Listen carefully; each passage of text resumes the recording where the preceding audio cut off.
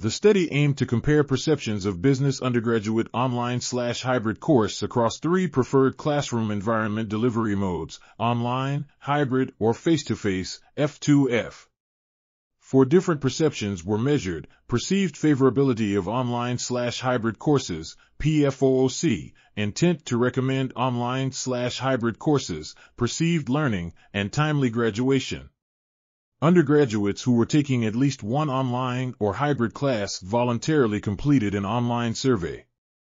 Consistent results across both samples were found for three of four outcomes. Undergraduates who preferred either online or hybrid classroom delivery had significantly higher PFOOC and intent to recommend online slash hybrid courses than students preferring F2F. There were no differences in perceived timely graduation across the three classroom delivery mode groups, and inconsistent results were found for perceived learning.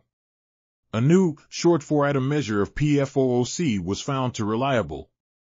Ways to increase the PFOOC for undergraduates who prefer F2F are suggested. Increased PFOOC should lead to higher intent to recommend online slash hybrid courses. This article was authored by Gary Blau and Rob Drennan, Jr. We are RTCL.TV, links in the description below.